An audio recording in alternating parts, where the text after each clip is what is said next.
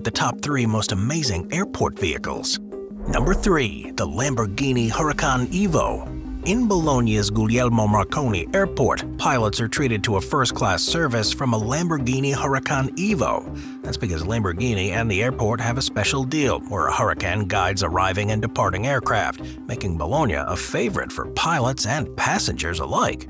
Number 2. Aircraft Tugs Commercial planes are massive, and in order to get them from point A to point B while on the ground, they need the service of aircraft tugs.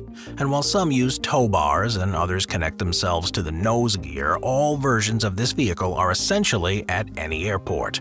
Number 1. Motorized Stairs Getting passengers off the plane ASAP is an airport's top priority. These vehicles move from plane to plane doing their thing, and in recent years, electric stairs have become an ultra-efficient alternative to gas-powered ones.